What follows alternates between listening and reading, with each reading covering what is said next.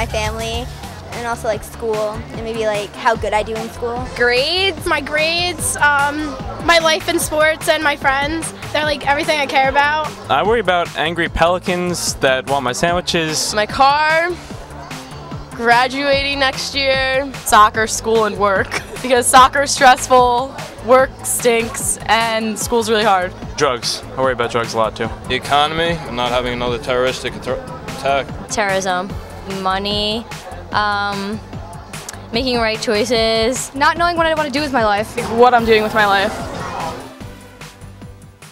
Stress, anxiety, worry, fear.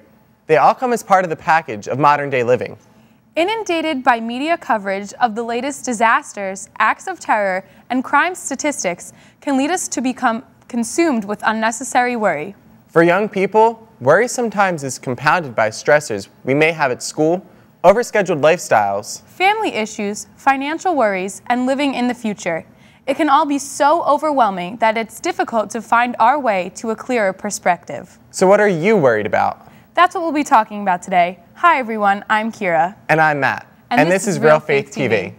A few of the things that the teens on the street told us that they worried about were school, family, friends, and sports. We'll hear from them more a little later in the show, as well as meet our studio guest. But first, let's meet our spotlight guest, Danny, who will tell us what he worries about. I just got a credit card. So I'm really worried about that because I don't want to spend and get in debt. You know, another thing I'm really actually a big thing I'm worried about is the future because I can't see the future. You know, I can't touch it and I can't necessarily, I can't control it. So I really worry about that. I'm currently working on my nursing degree and, but it was kind of tough to get there.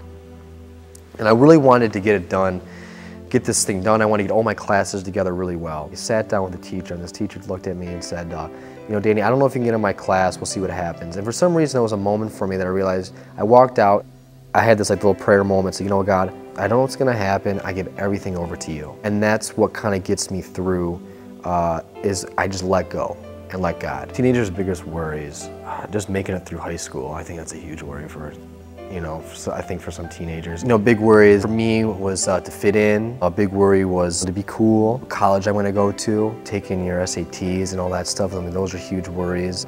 Pleasing your parents, getting a car. Being a teenager, there's so many things that we can just, that comes in your life so fast. I think teenage years move very, very quick because there's so many, there's so many big changes in life. And because I was such a control freak, and all these huge changes going on in my life, I think I was really worried a lot of times, like what's gonna happen, what's gonna happen. I think it's, for me, in a lot of ways it's normal, it's about how you, how you deal with being worried about stuff like that.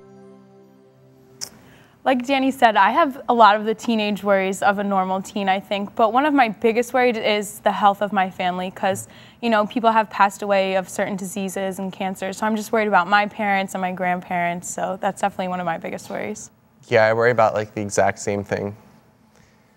So let's go to our studio guest and see how they feel about this. Okay, they are Chris, Kelly, Andrew, Mary, Nick, Danielle, and Patrick. So what are the things that you guys worry about the most? I think I worry the most about like my family and my friends and their well-being as well as like money for college because like it's so hard to find it. I worry mostly about my schooling and how I'm gonna get all my stuff done because I procrastinate a lot. So a lot of the projects don't get done till the last day, but then everything gets a little overwhelming, so I get really worried at the last minute. Yeah, or worrying about like tests the next day and quizzes and all that kind of stuff. Well, I know for me, I, I, worry most about, you know, getting into college, you know, what, what am I going to do with my life, you know, like what's going to happen in the future, so. I think everyone's worried too. I, it's more the future in general for me, like where I'm going to be at, like a couple years from now. Am I going to be successful?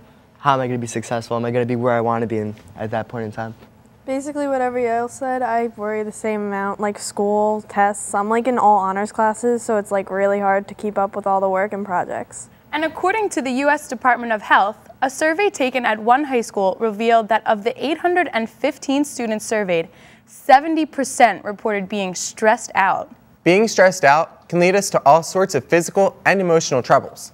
Physical problems such as headaches, stomach aches, sleep problems, feeling tired and on edge, can lead to feelings of wanting to withdraw from normal activities. This is one of the reasons why finding appropriate ways to cope with our worries is really important. Next, the teens on the street tell us if they worry a lot and how they cope with their worries. I don't worry too much. I kind of just go with the flow. There's nothing really to worry about as long as you're still living and like you're happy. I don't really think I worry too much. Um, I pretty much take life how it comes. I do worry like when something happens, but I'm not one of those people who worry like constantly. No, I don't think I worry too much. I just live every day as it comes. I don't think I worry too much because I'm very easygoing. No, I don't think I worry too much. Because life's too short to be worried about things. I think you should just have a good time. It's more fun to be spontaneous than to worry about things. Yeah, I worry too much. We all worry. I wish I didn't, but it happens. I think I have right to worry as much as I do. Yeah, it stresses me out a lot. Um, I really should stop worrying about things. Cope with my worries by hanging out and kind of ignoring them. I cope my worries by eating. I work hard. I enjoy life, come to the beach, hang out with my friends, shoot the breeze. I have a good time. And uh, and then I worry, and then I have a good time. I don't know, I'll take a nap. Like an hour nap, and I'm good to go for the rest of the day. If I am worried about something, I'll probably do something to fix the situation so that I'm not anymore. I like shoot around in soccer. It just gets rid of like the problems. I try to talk to somebody about it and just like get through it, I guess. I usually talk to my friends or my family. I know I definitely worry a lot. I worry about like everything underneath the sun. And um, I guess my parents help me get through it, like talk to me and tell me like it's not that big of a deal, that kind of thing. I do the same thing. Whenever I start getting stressed out and worrying about things, I speak to my parents asking them for advice, and usually they give pretty good advice. I remember when I was a kid, I used, I used to worry a lot. Um, I would kind of lay in bed at night and you know just just be thinking about things, and I think praying you know each night would help me get through it. I'm gonna sound like a real dork. I, when I used to get really worried, I still do sometimes. I'll like whip my hacky sack because me and my friends used to always play hacky sack. I'll just play hacky sack for like an hour straight, and like after that, there's no worries in the world because you're so happy. So I mean, it's really dorky, but that's what I used to do. Yeah, I think I worry about a lot of things, but mostly like about my friends and everything. So like most of the time, like I'll talk to them and make sure they're okay, and then like I know that they're okay, so I try not to worry as much. My parents would probably say that I worry too much, but I like to think of it more as like I plan ahead.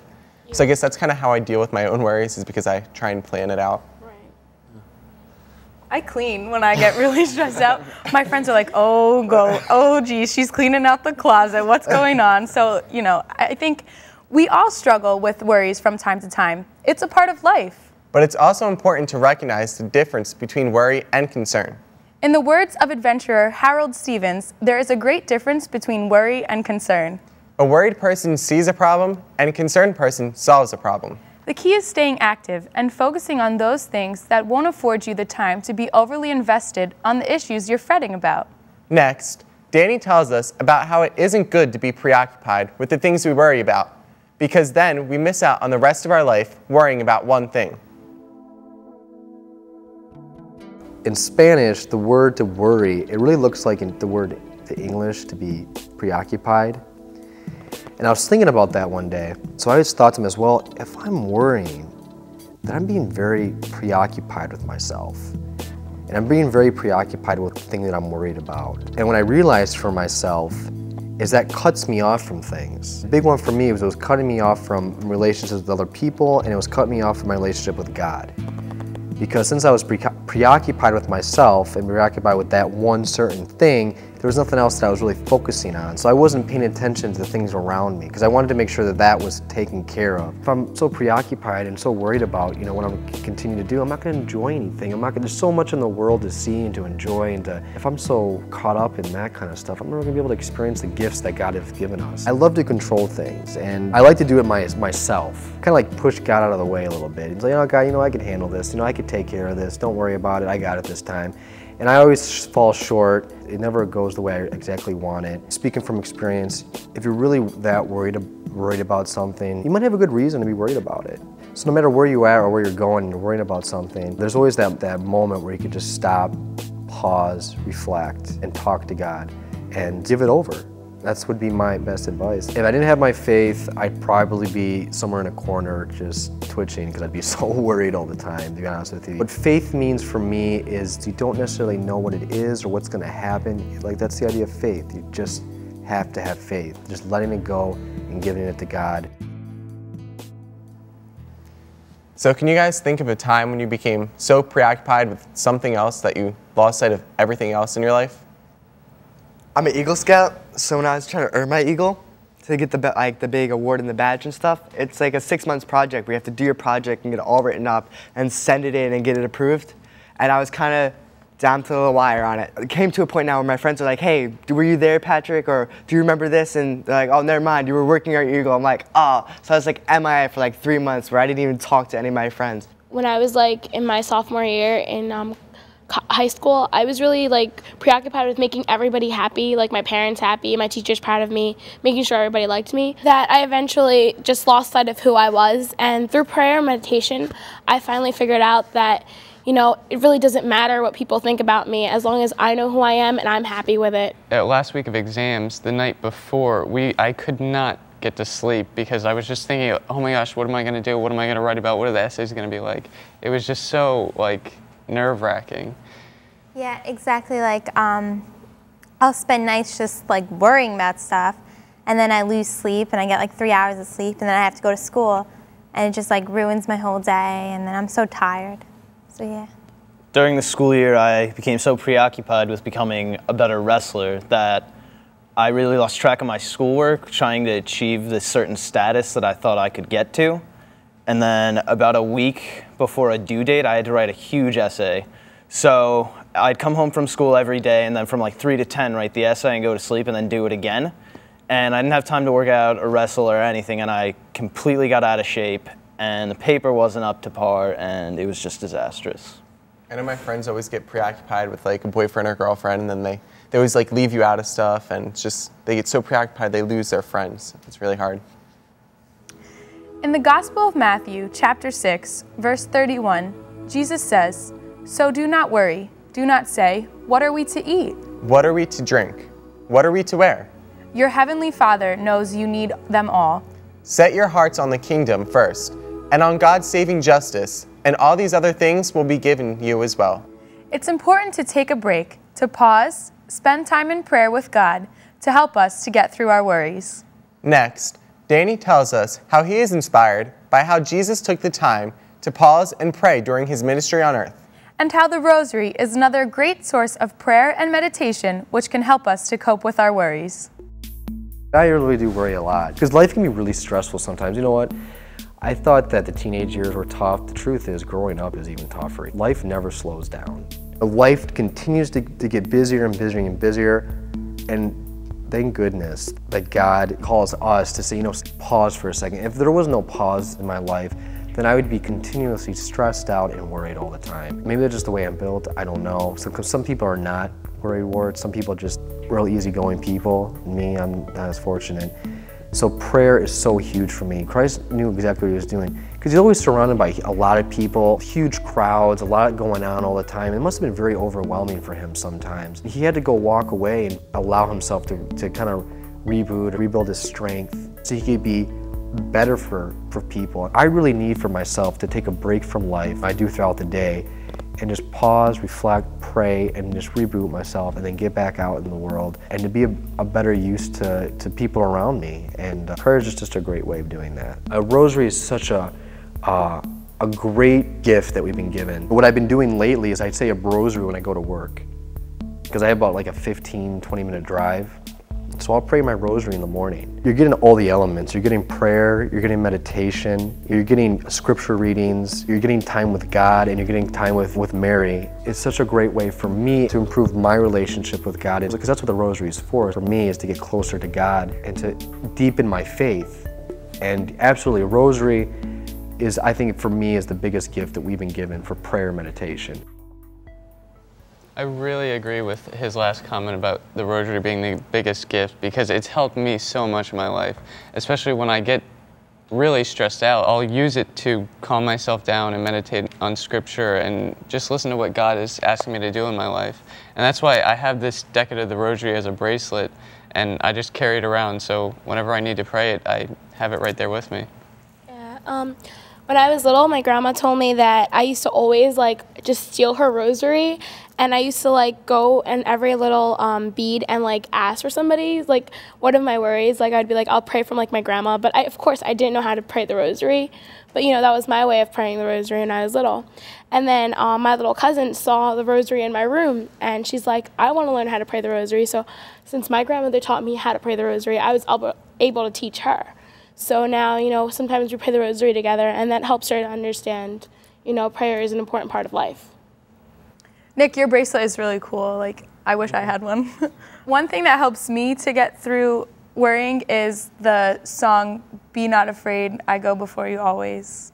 Um, because, you know, I love that song and I always hum it to myself if I'm like stressed out. But it's really true, like what the song is about. So that helps me get through my worries. I know, like Kelly said, like I have trouble sleeping at night because I worry a lot. Like I worry throughout the day, like constantly. So like I pray to God at night, and that usually puts me to sleep. Or like sometimes I just meditate, and like it just like leaves all my worries behind, and it really helps a lot. Yeah, my grandpa used to say, Yea, though I walk through the valley of death, I fear no evil.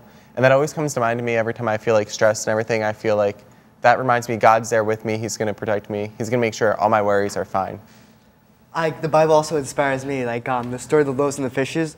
Everyone was worried there's not gonna be enough food, and like Jesus provided for 5,000 people. What is not gonna do? Provide for our little worries that we worry about every day? Seriously. Even like praying to God, like as Danny said, you're leaving it in God's hands, and it just takes a lot off your shoulders and just helps you, like relieves you.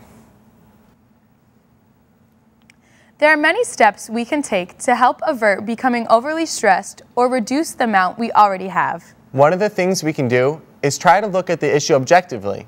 In other words, what is the true likelihood of this happening? Gather the facts and try writing them down. Doing this can help you put things in perspective. And can help you feel that you're taking positive action. Next, the teens on the street give us some more advice on how to deal with our worries.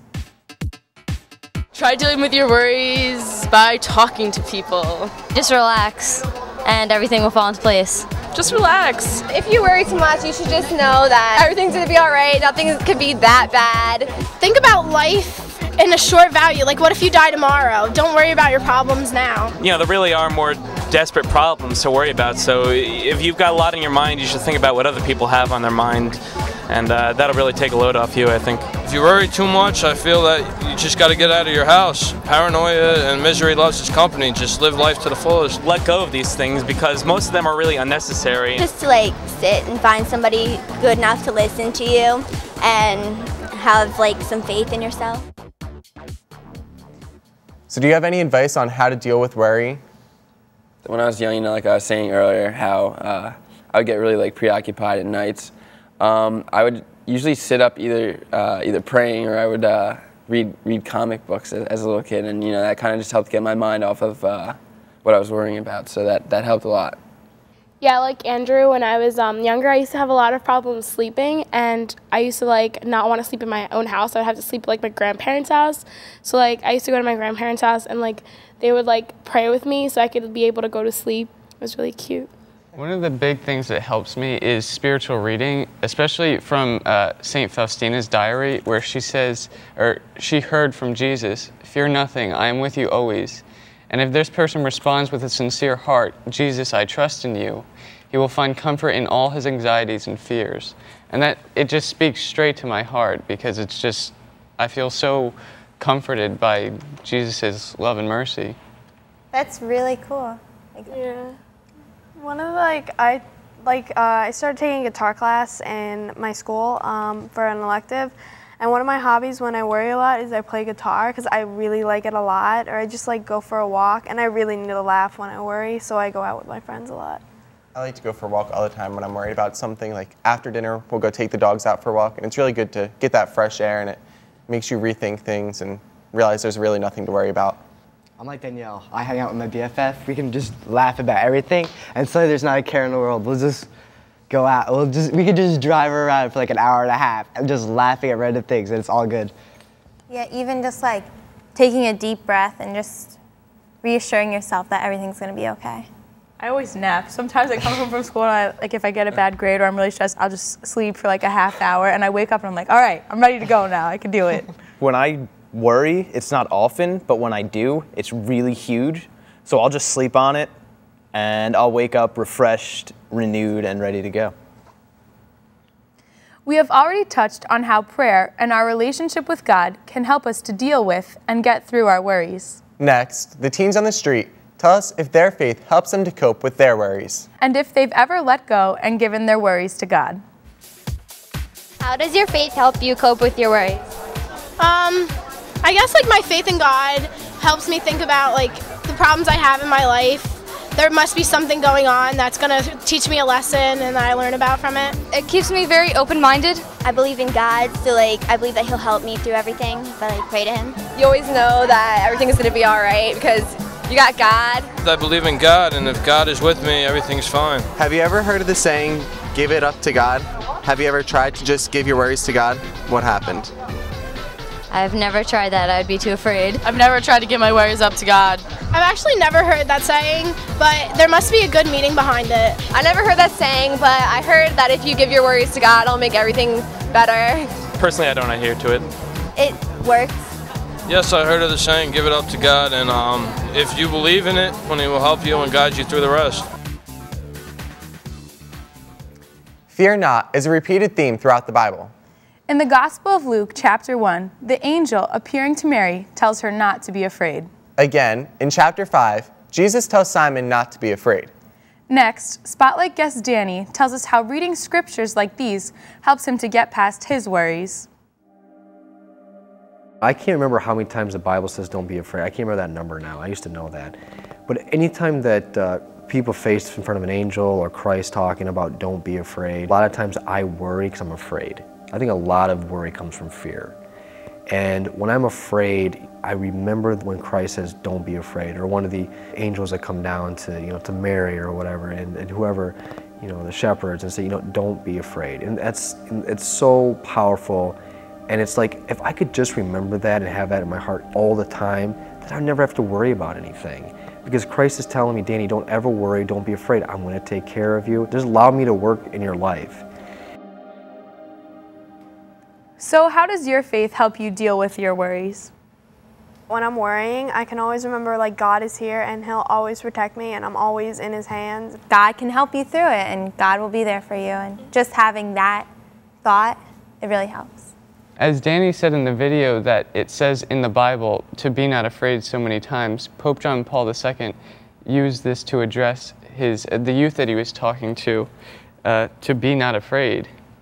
Yeah, I think if God takes such such an emphasis on saying be not afraid, obviously he's telling us to just, you know, relax, don't worry about it cuz he has has everything in control. Especially in our culture these days, it's all everything's built on fear. Everyone's always afraid about something. I think we really need to learn to let that go. And you know, a quote that really, really speaks to me is this quote by Philip Gulley, and it says, "Fear can keep you up all night, but faith makes one fine pillow." So. That's a really that. cool. That's quote. really I've never heard it.